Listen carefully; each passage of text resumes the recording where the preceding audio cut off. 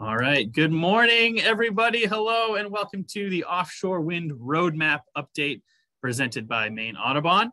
I am Nick Lund, and I'll be joined today by two colleagues and a special guest to update you on the latest happenings regarding offshore wind in the Gulf of Maine, including a current opportunity to, opportunity to offer feedback on Maine's path to realize the benefits and mitigate the impacts of offshore wind. In particular, we will be discussing progress on Maine's offshore wind roadmap, a state initiative to guide the development of offshore wind, led by an expert advisory committee and working groups, including Maine Audubon staff. Uh, the roadmap focuses on a variety of topics related to the development of offshore wind, including energy markets, ports and infrastructure, socio socioeconomic benefits, uh, equity, manufacturing and supply chains, workforce development, and especially important to Maine Audubon, wildlife and environmental compatibility. Uh, each of the four working groups have developed a set of recommendations. Those recommendations are open to feedback for the public with comments due by April 30th, which is less than two weeks away. Among our goals today is to share the recommendations that are of great interest, greatest interest to Maine Audubon and encourage you, the listeners, to offer your feedback. Um, to talk in much more detail about the roadmap and the draft recommendations are my guests today. First is Celina Cunningham, the Deputy Director of the Governor's Energy Office. Hello, Celina. Good afternoon. It's great to be here. It is five after, so you can say good afternoon. Well, that's great. Um, also here, of course, is my colleague Sarah Haggerty, our conservation biologist and a GIS manager for Maine Audubon. Hi, Sarah. Hello.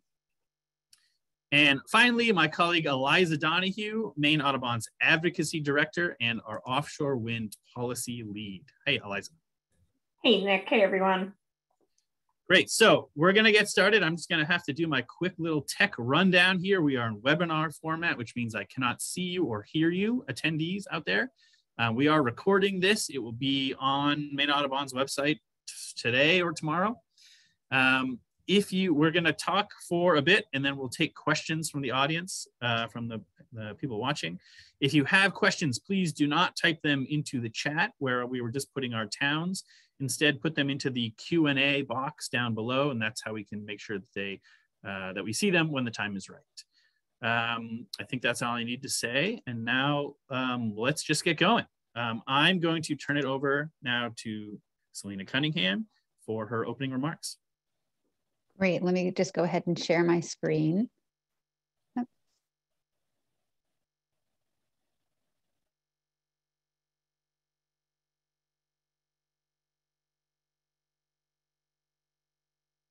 How's that? Looks good. Great. Good afternoon, everyone. So I'm Celina Cunningham. I'm from the Governor's Energy Office, um, which is working across state government and with private and public sector folks to um, work on renewable energy issues, including offshore wind. So I'll take um, just a few minutes to give you a little bit of um, background in terms of the state's work um, in um, offshore wind and then talk about the roadmap in a little bit more detail. So as you likely know, the um, state has, has some ambitious climate and clean energy goals that has been, have been put in place. In 2019, the state the state set um, ambitious greenhouse gas reduction uh, requirements of 45% below 1990 levels by 2030 and 80% by 2050 and over the course of um, year plus put together a four-year climate action plan that was delivered in um, at the end of 2020 and a part of that work is pursuing a number of strategies that um, are across the economy in terms of how to reduce climate emissions one of those key areas um, that, that uh, is included is increasing renewable energy. That not only is important to um, for the existing energy that we're using, but also as we need to electrify our transmission, transportation and uh, residential heating and, and homes, we will need even more renewable energy resources. So in the governor's energy office, we've put together a number of reports, um, including an energy um, energy assessment, energy plan about how we are going to meet those goals. And what is clear is that we have a lot of available uh, renewable energy uh, potential in the state. Um, we also want to pursue a diverse, diverse portfolio. And so um, whether that's solar, large scale, small scale, um, onshore wind or offshore wind, and even in other energy sources, um, the state is taking a diverse approach. And a key part of that is offshore wind. Um, the, the Gulf of Maine has some of the highest sustained winds um, in, in the country in terms of available resources and has, uh, um, I believe, over 156 gigawatts of potential energy from the Gulf of Maine. This can not only help uh, power the state of Maine, but also um, the rest of New England that has significant um, climate and renewable energy requirements as well. And so how the state has been doing this is we launched the Maine Offshore Wind Initiative uh, in 2019. And uh, this was, was set up to explore how to responsibly uh, support the growth of the offshore wind industry, taking a look at strategic planning, research, and partnering across um, in, uh, with folks in Maine, the nation, and the world to support um, a responsible uh, development of the industry. And really looking at these four pillars, fighting climate change that I talked about, increasing renewable energy in the state, and then also supporting additive um, jobs and economic growth. Uh, as we are seeing in Europe and also in south of uh, on the East Coast, the offshore wind provides a tremendous economic opportunity where we are exploring how the state can benefit not only from potentially projects in the Gulf of Maine, but participate um, in, in other um, where the projects are south of here as well in terms of our supply chain. And lastly, a key to this work is sustaining Maine's heritage, maritime heritage, and um, namely also supporting Maine's um, uh, commercial fishing industry, as well as our, our important environment. And so as we think about ways that we want to explore and, and, and advance offshore wind, a key part of that is thinking about how existing um, economic uh, uh, powerhouses like the fishing industry and our, our way of life can be sustained as we advance um, offshore wind. So what does this work look like? We are, are doing a number of planning efforts in terms of the roadmap I'll talk about in a moment in terms of how Maine's ports could, could help support the offshore wind industry. Department of Transportation is embarking on a stakeholder process related to that. We're also supporting research and innovation. The university is on track to have the first full-scale um, floating turbine in state waters in Maine in 2024. This will be the first in the US and has uh, a long history over a decade of work in terms of leading on floating offshore wind technology, which is required in the Gulf of Maine. And then on policy and legislative side, uh, we've we have support for a, a small scale research project in, in, federal waters that the state is in the early stages of uh, planning. In addition to that, the, state, the legislature um, has invested in a research consortium to make sure that we can explore how to best coexist, um, have offshore wind energy coexist in the Gulf, Gulf of Maine. And then also prioritizing federal waters, so beyond three miles. And then a key part of that is uh, partnering. And we, we are working um, both informally and formally to uh, make sure that we are, are, are, taking lessons learned from other jurisdictions and communities about how to um, advance, advance floating technology and advance uh, offshore wind in, in, in, the state of Maine. So in terms of how we are doing that, um, the roadmap is a key pillar that we, uh, we, we launched the roadmap in um, July of, of, of last year. And the reason why we wanted to do this is really to have a building on the over a year, uh, decade of work that we've been doing in the state. How do we kind of map the future for how to advance this, this industry? So we have a um, uh, over $2 million from the US Economic Development Administration that is helping put together a comprehensive economic development plan that allows for um, coexistence with Maine's coastal heritage, existing ocean users, but also providing this economic opportunity. And so we set up this advisory committee uh, that includes both public and private sector leaders, as well as four working groups focused on different sectors of the industry. And we're grateful for the participation of Maine Audubon um, in, in, this, in this expert, uh, one of the expert working groups. And so the working groups have been working hard over the last months putting together um, initial recommendations, working with some of them have been working with consultants to help put together technical documents and plans about how um, about what is needed and the priorities associated with uh, offshore wind in Maine. And so just to give you a sense, we've had over nearly 100 people participating over 50 meetings. All of these are open to the public. And so we invite you to participate at any level that you are interested in, um, whether it's this uh, webinar or in more detail if you're interested. And then also we have a number of technical re reports that are, um, are, are helping the roadmap um, um in terms of um, uh, guidance and also supporting the recommendations that we're moving forward. In terms of how, where we are in the process, so we launched in July we're at this first initial stage where this is the first time we're having conversations with people like you to tell you about what the work it is that we're doing, get that feedback, and then we'll be putting together a, um, a another draft recommendations and final rep- and draft report that will go out for public comment again, and we'll finalize it by the end of um, December 2022. And a key part of this is obviously working to um, in, be inclusive through our process and open to feedback about how we can meet, meet reach others and have a, a broad, as broad of an effort as possible. I want to just kind of preview, uh, share a little bit about some of the rec recommendations for the um, three of the working groups, and then I'll let others go into more detail on the um, uh, uh, environment working group. So I'm co-chair of the Energy Markets and Strategies Working Group, along with Jeremy Payne from Renewable Energy uh, uh, Association. And this group is really focusing on three key areas. Um, these are these are pretty high level notes right here online. I'll give you a link later, has a little bit more detail if you're interested in delving in. But really, we think it's important to establish and initiate an offshore wind requirement and procurement process. The state of Maine will, will need um, offshore wind over the long term. So thinking about how to procure and set up a, a, a clear strategy for um, bringing that offshore wind to the state of Maine. Next one is, is um, making sure that we do this in a cost-effective manner.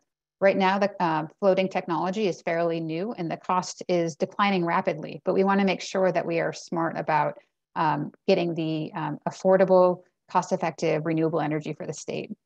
And then the last one is uh, uh, pursuing regional collaboration in the in the industry, um, whether it is um, procurement, transmission, workforce, supply chain, or environmental issues. It's important that we're considering how not only Maine Maine's views, but also how we can work with New Hampshire, Massachusetts to have a regional approach to uh, the, the, this this industry. I'm not going to go through um, this full list, read it all, but the uh, Fisheries Working Group, it's an active group chaired by Meredith Mendelson from the um, uh, Department of Marine Resources, as well as Terry Alexander, who's a ground fisherman from Maine. And fishing uh, fishermen and, uh, have been coming to the table and along with fishing associations to talk about um, key priorities associated with, um, with, with potential for offshore wind. And just because people are participating does not mean that they are supportive of offshore wind or this effort, but we're really appreciative of people coming to the table to share ideas about how to minimize impacts and, and maximize benefits. So um, I encourage you to just kind of read through these and see some key areas where uh, we're eh, looking at how to um, make sure that we're, we're doing this in a, in a safe and responsible manner. And so these are still in our development here, but just to give you a sense of what they are. And then the last one is the supply chain workforce development, uh, ports and marine transportation. And this is a very large group that has um, three subgroups, one focusing on supply chain, one on workforce, and another on ports. And so um, the, these are just a, a, a snapshot of the recommendations that they are working through, including how to um, advance supply chain opportunities for companies of all sizes in Maine from a workforce standpoint, the state has been doing a, a lot of work to advance uh, clean energy workforce efforts, as well as working with our partners.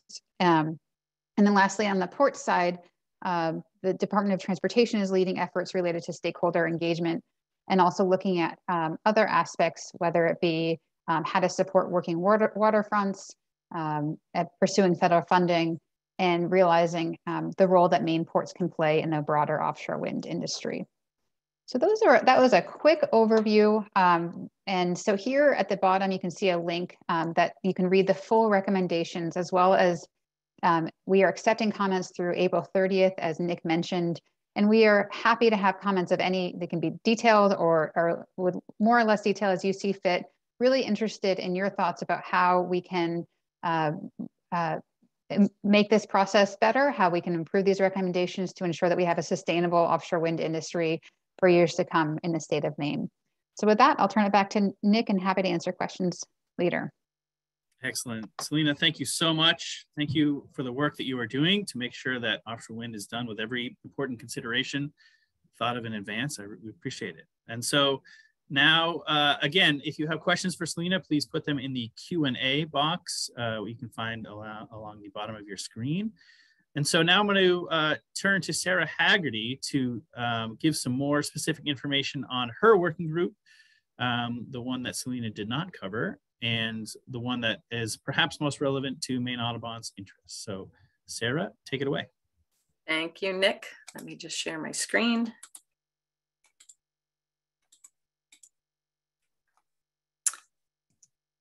Looks good. Thank you. Um, so as uh, thanks, Nick, for the introduction and thanks, Celina, for that great overview of the roadmap and the roles of the, the, different working groups. I'm going to, I sit on the Environment and Wildlife Working Group, and so I wanna walk you through how we're looking at these things and, and what we're considering, and then go through our initial recommendations.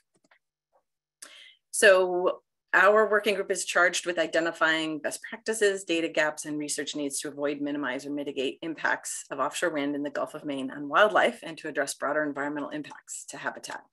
It's a pretty broad um, requirement that we are working under. So um, we're really fortunate that the folks who are on the working group are experts in the field and that, that it's a real variety of folks who are involved. We are chaired, our, our group is co-chaired by John Perry of the Department of Inland Fisheries and Wildlife and Wing Goodale of Biodiversity Research Institute. And then the working group itself is made up of um, folks from federal agencies, state agencies, academia, other NGOs like Maine Audubon.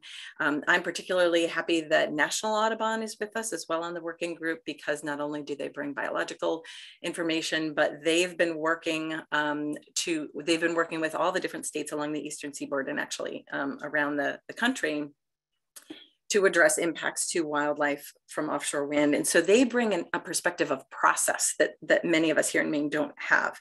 So it's really great to have National Audubon on the working group as well.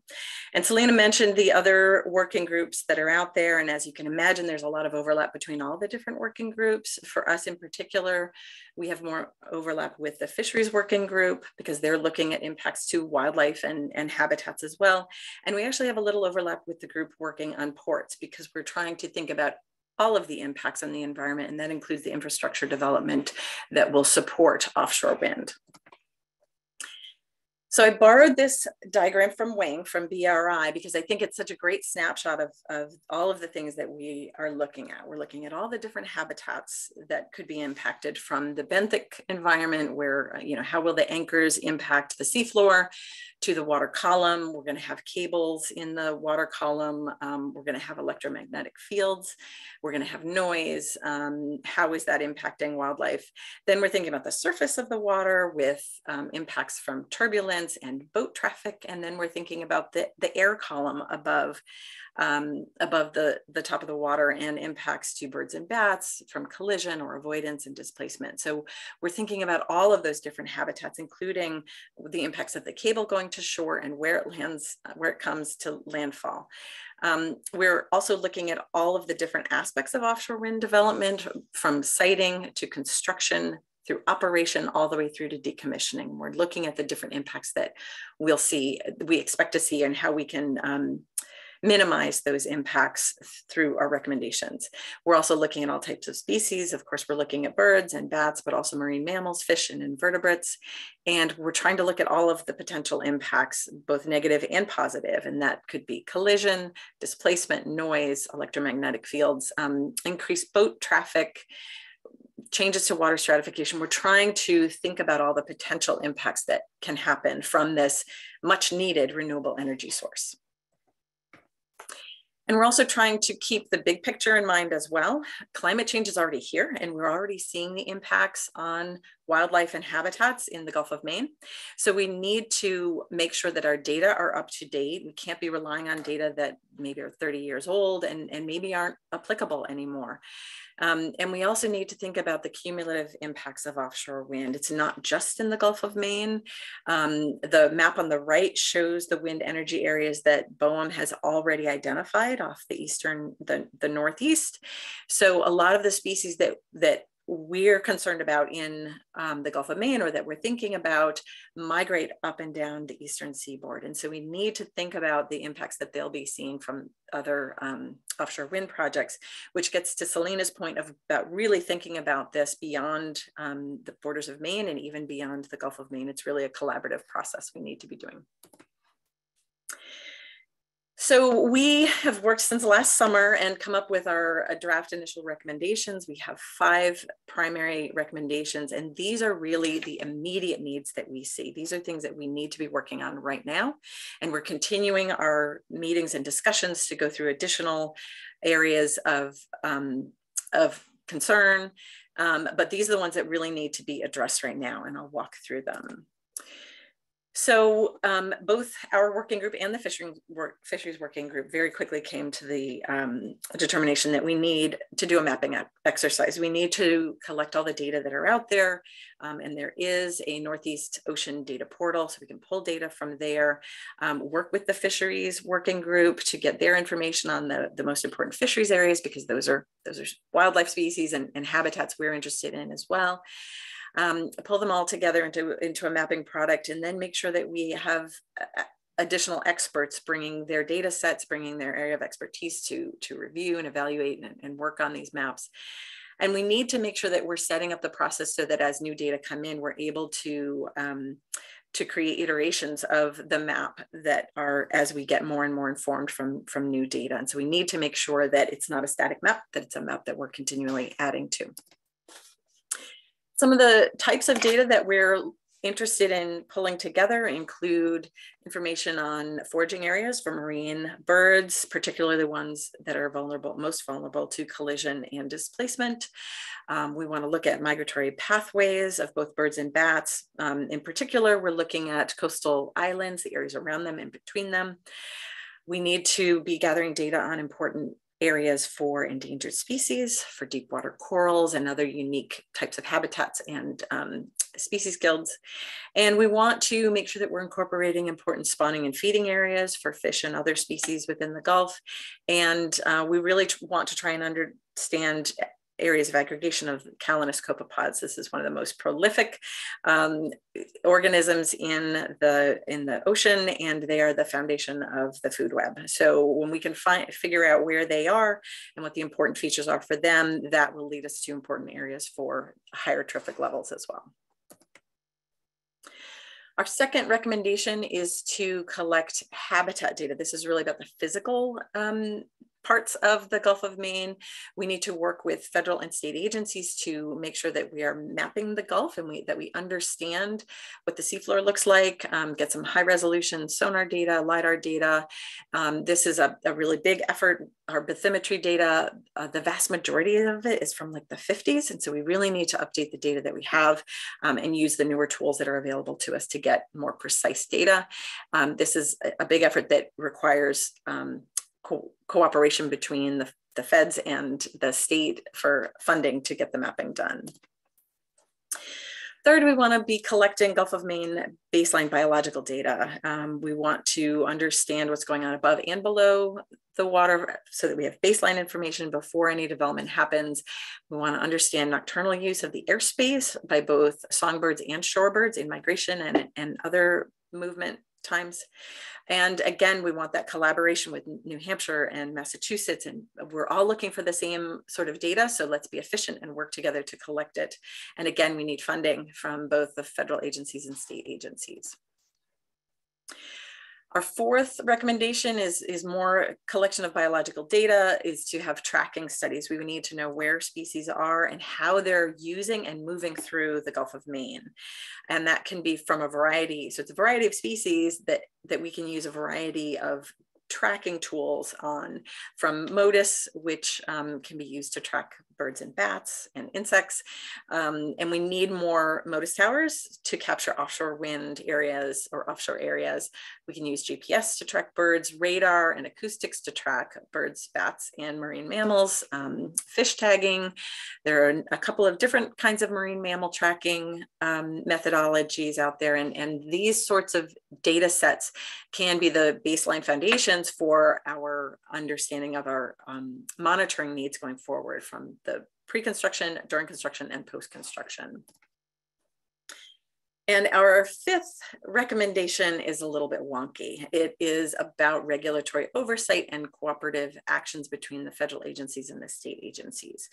So the Coastal Zone Management Act requires that there be federal consistency between uh, the federal agencies and the state agencies. I'm not an expert on this, but I've been doing a lot of reading on it. And basically, it says that if there's any action that a federal agency will take, whether it's in the coastal zone or, or not, if it will have an impact on the coastal zone, they need to um, undergo a federal consistency review where they need to make sure that whatever they're doing can meet the requirements of the state um, regulatory agencies and within the, the coastal zone. So this is something offshore wind is sort of new in the federal consistency reviews uh, because we don't have offshore wind yet. So we want to work with our neighbors who are a little bit ahead of us in the process and um, so that we can all um, work together to figure out the best, strongest tools to use to make sure that our that our state agencies have a strong voice in um, making sure that any offshore wind activities have the the least impact on our environment and, and wildlife. And one of the, the parts of this is to really take a look at what policies we already have, policies and regulations, because um, we, we may need to incorporate new regulations specifically to look at potential impacts for offshore wind. And we need to, as part of federal consistency, we need to understand the state's role in the cable route review, where that cable is going to go, how it's going to make landfall, and how we can um, make sure that it has the least impact on the environment. So that's a whirlwind tour of our five immediate um, priorities right now, our recommendations, but we're still meeting. We're still discussing a lot of things. There's a lot more to dive into. We're looking at that transmission cable route, um, where landfall will be. Um, we're also trying to develop some best management practices so that every offshore wind project has to meet the same BMPs and data standards for monitoring going forward so that we can have consistency. And again, that's a great place for collaboration with our neighbors. Um, we also need to look at mitigation requirements. There will be impacts. We're going to work really hard to make sure that they're the, the smallest impacts to the environment, but where there are impacts, we need to make sure that there's um, significant mitigation that, that actually offsets the harm. And we want to look at where what the role of procurement can play in um, making sure that there are strong requirements to protect the environment as offshore wind is developed in the Gulf of Maine, and um, and then having input from the Maine Offshore Research Consortium, and also there's a regional wildlife science collaborative for offshore wind as well. So there are um, entities out there who are looking at this, and we need to make sure that we're um, looking both locally and with our neighbors. We're also looking at how do we address those cumulative impacts along the eastern seaboard. Um, except for off of Block Island, there, there aren't any wind um, farms there yet, so it's hard to, to figure out what those cum cumulative impacts will be.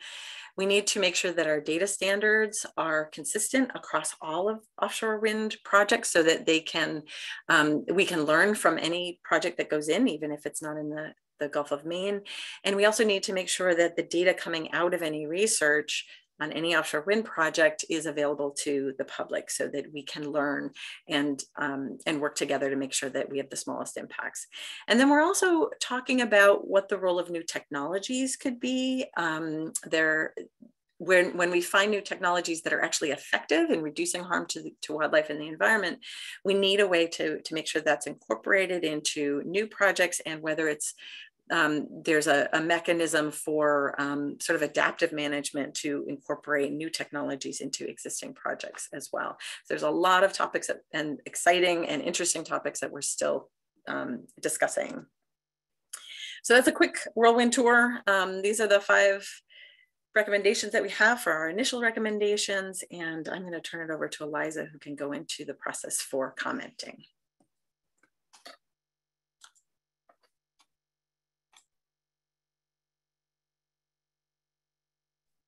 Great. Thanks so much, Sarah. Um, and let me get to screen sharing. Hold on.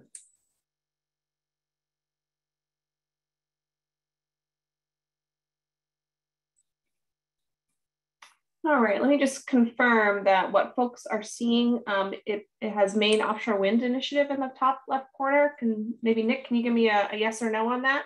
Yeah, looks good, Eliza. Great, thanks so much. Well, hello again, everybody. I'm Eliza Donoghue, Director of Advocacy for Maine Audubon. Big thanks to, to Sarah and Celina for great presentations. Um, as you have all seen, a ton of work has gone into developing this roadmap to date. Um, and as Nick noted, and as Celina noted, and Sarah too, uh, there is an opportunity for folks to offer feedback on the recommendations that Sarah just presented. And we encourage everyone to offer feedback, particularly feedback on the recommendations from the Environment and Wildlife Working Group. Um, not only will your feedback strengthen the recommendations, but they'll also demonstrate the desire of Maine people to be engaged in this important work.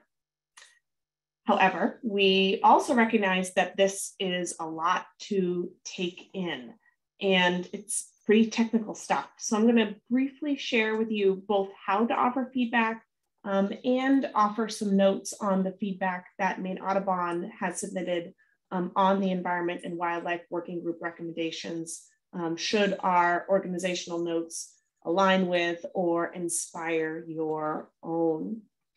So I have here um, that screen sharing the easy to use online form that the roadmap has created for people to offer feedback on. There is one of these for each of the working groups. And I've also put it in the chat there um, if folks want to link to it themselves. themselves. The form is, is quite straightforward. Um, it includes four questions. Um, and the first, all of them relate to uh, the five different recommendations uh, that Sarah went through so carefully. Uh, and the first two are, are pretty straightforward and just involve some check marks. Uh, and that first question asks the reader to pick the two Environment and Wildlife Working Group recommendations that they believe to be the most strategically important for Maine right now. So Maine Audubon believes that each of the five recommendations are really crucial. However, for the sake of the exercise, um, in our response, we selected uh, collect the Gulf of Maine baseline data. That's the second one right here, um, as well as conduct tracking studies right down here. So as Sarah described, there exists significant wildlife and habitat data, data, gaps that really need to be closed prior to developing offshore wind in the Gulf of Maine.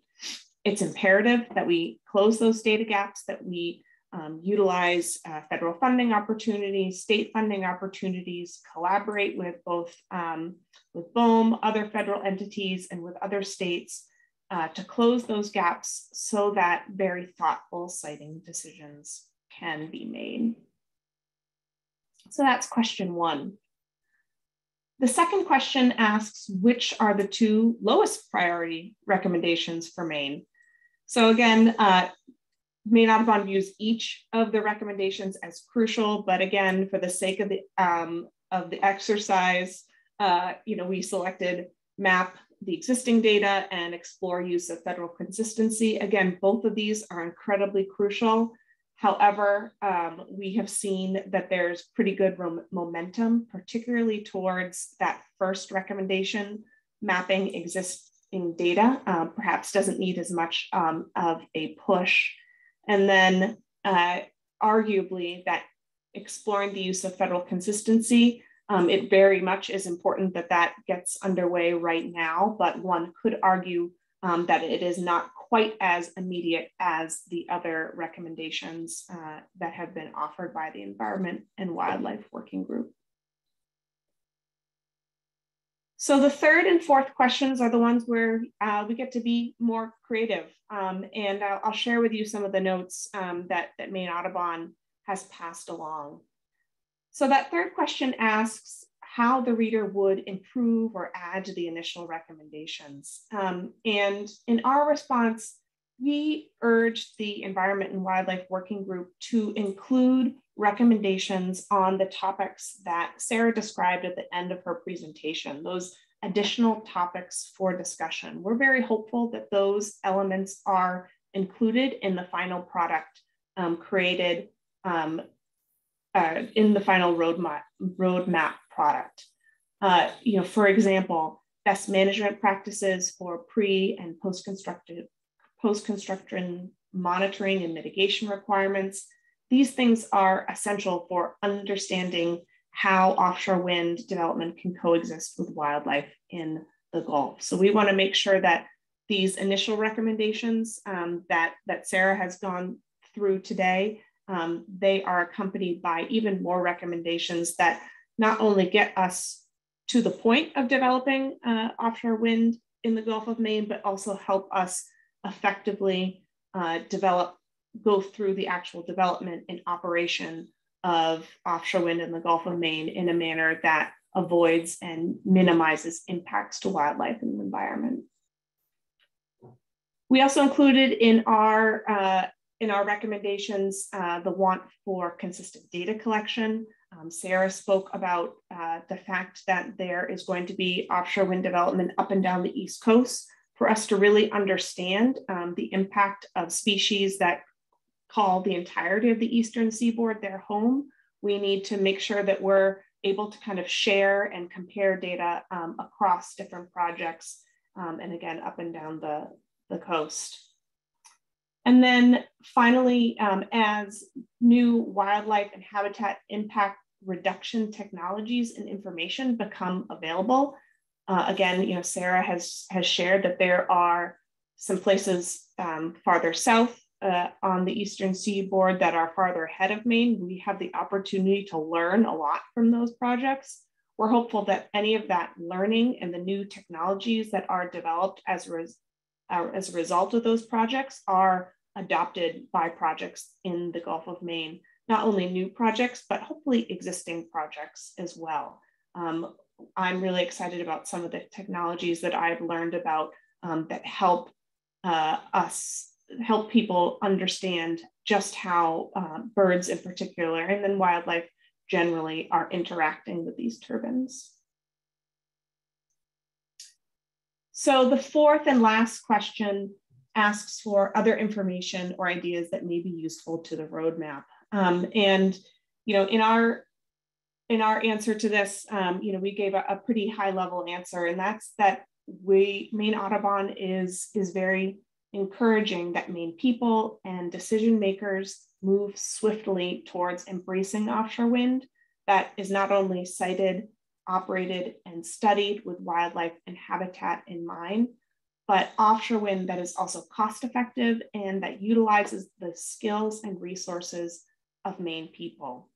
You know, while of course Maine Audubon's focus um, when it comes to offshore wind is the intersection of offshore wind and wildlife, uh, as well as the role that offshore wind can play in helping Maine meet its renewable energy goals. We know that if offshore wind is going to work for Maine, it's going to work for the nation, it needs to work for all Maine people. That means creating jobs for Maine people. That means um, reasonable electricity rates. That means utilizing technology developed here in the state of Maine. Um, many other aspects that are going to, again, um, play to the real um, sweeping benefits of offshore wind that are beyond you know what are some of the most paramount benefits and that is reducing our reliance on, on fossil fuels so that's a whirlwind um, of uh, of the feedback um, opportunity again it, this is i put the link in the chat um, it'll, that link will take you to this page that I have right here. I'm going to stop uh, screen sharing and encourage folks to, to give feedback before uh, April 30th. Thanks, Nick. Thank you, Eliza, and thank you to Sarah and Celina. I'm wondering if um, Sarah and Celina could uh, start their video for the Q&A portion, put you on the spot here. Thank you very much. Um, amazing stuff. Thank you so much. Um, and to the folks listening, you know, this is how we make sure it's done right, right? I mean, um, this is, uh, you know, Maine Audubon believes that offshore wind can be a way to get off fossil fuels, but we know that there may be impacts and we need to um, make sure it's done right. This is how we do it, is by um, sending in your recommendations and making our voices heard. So I encourage you all to um, click the link that Eliza put together. Um, I'll be sending out some information later on to attendees and to many other Maine Audubon members about um, uh, our recommendations for making comments here. So um, please take heed and take action. And now I'd like to turn it over to questions. Um, again, if you have questions, please put them into the Q&A box and we'll get started. Um, although I do know that there were some um, up in the chat and I'll start with those. One from John. Um, and I'm not sure who would want to take this, uh, maybe Celina, maybe Sarah, but um, can, John asked, can you put in better perspective how much energy could be generated from offshore wind? Uh, perhaps a number of residences or some other figure that um, can translate. Sure. So if you have a one uh, 12 megawatt uh, turbine offshore, that's about 7,000 homes if you had a 150, 156 uh, megawatt project, that's about 100,000 homes. And if, if you're getting to 156 gigawatts, that's 100 million homes. Um, so there is a, a lot of energy in the Gulf of Maine. And correct me if I'm wrong, there are not 100 million homes in Maine. So this would be a significant energy source, not just for Maine, but for the, the nation. Correct? Yes. And it's just to, to illustrate the potential. Um, our, we have uh, far less in terms of our actual energy, energy needs here. So. So it's a big deal. Um, Ronald asks, uh, you'd mentioned some concerns from the fishing industry. Um, he's wondering if you could summarize those concerns. I can share a few thoughts. I, I don't want to speak for the fishing industry, so just in terms of what I can share that I, I have heard. Um, I think number one is on a process side, the way that the fishing industry is regulated is very different than the way that offshore wind is is planned and regulated. And so um, making sure that the fishing industry have a, a, seat at the table and are able to provide input pro, early on in the process, I think is an important component. And then thinking about um, through each stage of the um, de- development of the project. So whether it's your transmission cable interconnecting to shore, how that may interact with fishing activity or a project offshore, whether it's possible to uh, fi- uh, fish around the, the project and whether the fishing fishermen feel comfortable where those projects are sited is incredibly important to the fishing industry. That's just a few. Sarah and Eliza may also have, have thoughts, but that's what comes to mind. Thank you I was just going to say one of the the big pieces that we're hearing from the fishing industry is um, to make sure that we have really good communication, that that they're being heard and that um, that they're understanding what what's going on and and and throughout the entire process, beforehand, during, and and after as well. Great. Um, a couple questions about birds that I'd like to direct to Sarah, if possible. One from Jeff about um, what do we know from other offshore wind installations about the potential impact on migratory birds? And then from Lance, uh, what are some ideas about how the impact on birds could be monitored as you go forward? Yeah, there's there um, there actually is a lot of information out there from offshore wind in Europe. Um, it is a little bit different. The turbines that were put in, they've been out there for a couple of decades now, and they're not quite as tall as the turbines that we're going to end up with, and they're monopile. So we're going to have floating um, floating turbines here in the Gulf of Maine. Um, and so there will be some differences there, but, but research is showing that some species just act like they're not there. It's totally fine. Um, some species are more vulnerable to collision, and some species actually will avoid the turbines. And so we need to think about um, what those species are in particular. Um, so think terns and gulls when you think about collisions you know they're they're flying higher they're they're moving a lot more um, less so for puffins who are staying a little closer to the the surface of the water. Um, but any impact on the um, the food sources that are in the in the marine environment is something that could affect the birds as well. And so those are some of the things that, that folks are thinking about. The distance between the turbines can affect the displacement effect. Some species will move between them if, there's, if they're far enough apart. Um, some will go around the entire array. And so we need to, to understand what's happening here with um, the turbines that will end up here. Um, and was the second part on how to how to minimize and avoid those or how to track them. And, and monitor and monitor. yeah so um so we're looking at things like like radar to get a feel for so um i think folks often we'll think about marine birds, but we also have to remember that songbirds and shorebirds migrate, and some of them will stay along the coast, but many will cut across the Gulf of Maine. So we need to understand a little bit better, and that's where the, the tracking can come in to understand um, who's who's moving where when. And it's not just across the the Gulf of Maine, it's also within the airspace, right? The air column. How high up are they moving? It may be um, may not have any effect at all if they're all flying well below the, the, the rotor sweep zone. But weather can have a role on that too. When the weather is bad, they can be pushed down into the rotor sweep area instead of flying above them. So there, there's a lot of different stuff to look at and a lot of different technologies. Um, and then there are some, Eliza and I both talked a little bit about new technologies. There's some technology that's being looked at. It's still very, very early um, to look at um, how to track actual collisions, whether it's with a bird or a bat, um, and, and how to understand what's leading to those collisions as well. Great.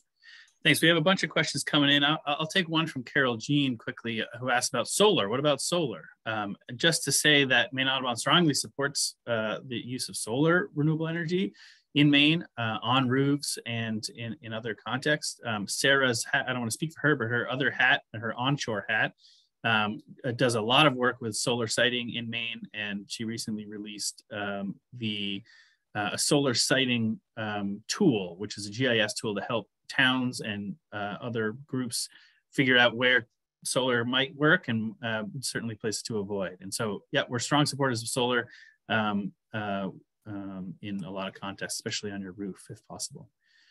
Question from Barbara, who asks, um, what do we see as the most likely obstacles to Mainers embracing offshore wind, um, especially as there are various points of pushback.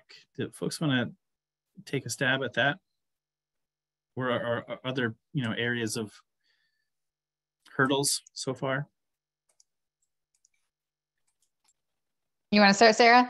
I'll go for it. I mean, I think number one is um, having conversations like this, sharing information about the potential and the process and um, what it can mean for Maine Two, I think it is um, good policies that support home um, opportunities for Maine companies, um, economic opportunities for young people, um, and to so those are a few thoughts. I also think that a lot of people are supportive of offshore wind, and then th I think the, the, last point would be to the the concerns raised by um, fishing industry and others is having a process that um, is workable and continues to be in the communications point on Sarah's Sarah's point is I think really good. So um, I'd say that we are taking steps to move in the right direction and need to continue to do this um, for the years to come.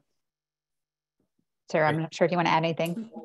No, I think I think that covered it really well. I think um, your first point is the most important one that um, getting information out there, and and this is new. This is brand new. We don't know what the impacts will be, but there are places where we can learn before it, it hits the ground. And so, just making sure that we are communicating what we do know, what we don't know, and and um, working with the best information that we that we have. Um, I just got a text from Eliza. We have lost Eliza. That's okay. Uh, she is okay. Our internet is out. We are in the middle of a storm. I'm surprised. I'm glad we made it this far in. So um, thanks to Eliza and, and good luck with getting your internet back. Um, Ted asked a quick question about UMaine. This is a really exciting sort of piece of the puzzle we haven't mentioned here. Um, Celina, perhaps you could talk about um, how UMaine is involved here. Yeah, I mean, the UMaine is uh, University of Maine. Dr. Habib Dagher and the Composite Center has done a tremendous amount of work and continues to really lead in terms of floating technology. They've put in the water off the coast of Maine. I think it was in 2008, a one eighth scale um, floating technology. Um, have patents, a number of patents to support that, and planning the, the project um, in targeted for 2024 in state waters. And so they have a long history. They are very good partners of the state, and will continue to and and I think um, have big grander plans to to advance the the technology. And that's another thing is that um, using those concrete um, foundations um, creates more local jobs here. And so um, we've been supportive of their their effort to date um, and excited about their their work. Awesome, thanks. Juanita asks, and if you could quickly just discuss the working group talking about ports and sort of how the um, you know how that's going to work or, or, what some of the recommendations are. You did cover it in your slide. And may have missed it but. sure. And so so when you're thinking about building these offshore wind turbines are, are big and you need a lot of physical space to uh, manufacture assemble and uh, and deploy offshore wind. And so whenever you're thinking about offshore wind you need to think about where are you going to build this. And so the um, Department of Transportation has done an initial assessment of the Port of Searsport, as well as taking a look at other ports and how they can support different aspects of the advancement of the industry. Um, DOT uh, has a working a, a, stakeholder group that they've launched to talk through some of those details in more in more detail. And I believe Eliza or Maine Audubon is is part of that to understand from a, a wildlife perspective, from a bird perspective, um, potential um, uh, impacts and how to reduce those. That's right. And those recommendations are on the same timeline, uh, April 30th. Is that correct? That the, and folks could find on the website. Yeah, for Not, the port. Yeah. Yeah, um, I think the port conversation is longer than that, but if initial recommendations, happy to take comments by April 30th. Great. Um, Sarah, I'm wondering if you uh, want to take a question about whales and marine mammals and maybe a quick summary of what the potential issues are and what folks are thinking about um, for recommendations or mitigations. Yeah, um, marine mammals, it's a, it's a big topic, really important topic. Um, and some of the issues that we're thinking about are any changes to the habitats, the, the marine habitats that might affect their food sources. Um, you know, the, there will be cables in the water from the floating turbines. And so there is a question, the cables are huge. They're gonna be like tree trunks. So we're not worried about entanglement from the cables themselves, but if there are, you know, old um, fishing fishing lines or or nets that can get entangled on the cables is there a secondary um, entanglement risk? So they're looking at ways to make sure that those cables stay clean. Um, potential impacts from electromagnetic fields, although that doesn't seem to be as big an issue for um, marine mammals as it is potentially for other species. Um, the potential for noise. Um, the floating turbines has one benefit compared to the monopile in that when the monopiles are put in, there's a lot of um, blasting and drilling that has to happen. It's very, very loud and, and during construction, um, it's a huge concern for marine mammals. And so the floating turbines don't have that, but there is um, noise generated by the functioning of those turbines. And there are different ways to reduce that noise. So that's one of the things that um, there were, we're recommending be looked into to sort of um, keep the noise all up, up above um, or just reduce it um, completely. and I, and, and the other thing that we need to remember is that um, climate change is changing things already. And so it's hard to know what those impacts will be. So we, we really need to make sure that we keep collecting the data over time. Yeah, that's a great point. Um, we've had a couple questions in the chat about offshore, the floating technology and how it stands up to strong winds, hurricanes, um, other events like that. Um, can can you speak to that and sort of um, talk about you know what it looks like under uh, extreme conditions? Yeah, and the University of Maine has a, a, a test uh, pool that they've been they've been using to to test their technology. Um, the the University of Maine uh, technology, I think, has been tested for to withstand 500 year uh, storms, and so it is an important component of any planning from an engineering standpoint. And um, so far, the, the, the testing is going well for the university. Great. Um, we'll take, I think, two more questions down here before we jump out. And I want to re re reiterate the link that Eliza uh, put in the chat before. Um, a question from, well, this is maybe a sort of combined question from Barbara and Lindy. Um, other other uh, oceanic renewable energy technologies under consideration, like offshore solar, uh, interesting, or current, or other types of wind generators? Is um, this this turbine style is is the best, or what? There are other renewable offshore renewable technologies. There is tidal. There's wave. There's solar. World. We've seen some some investigation of that worldwide. Um, uh, one thing I, will just briefly say is that the federal government is start is in the very early stages of planning for leasing associated with offshore renewable energy um, in the Gulf of Maine. And part of that will be collecting data, whether there's anyone interested in pursuing anything uh, uh beyond offshore wind. But primarily, our focus has been um, for far offshore uh, on, on offshore wind. All right. Well, I'm going to leave it there with the questions. Thank you so much. And apologies to the ones we didn't get to. I wanted to circle. Oh, that's not the right link that I just put down there.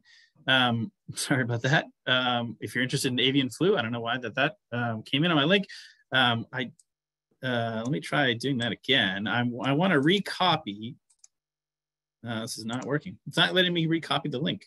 Um, so if you scroll up away from that and a couple um, up in the chat, uh, you can see the comment that Eliza put in there with a link to where you can um, add your comments. I want to reiterate how important it is to share our voice, to share our voice on behalf of wildlife and the environment uh, in, as we move forward here. There's a lot of voices in the room, as was alluded to, and we need to make sure that ours is heard. And so um, um, you'll be getting some more information from me about uh, what Eliza uh, recommended for um, how to comment, and we strongly encourage you to do so. I want to thank Celina Cunningham. Thank you for joining us and for all the work you, you're doing. Sarah, thank you. And Eliza, thank you in absentia as, uh, as your internet is gone. And thank you all for joining. It's really uh, nice to see people's interest in this topic as we move forward. This is a very exciting development uh, for Maine, and we um, hope that um, we can help uh, the environment and the earth. Thanks all, and we'll talk soon. Thank, thank you. you.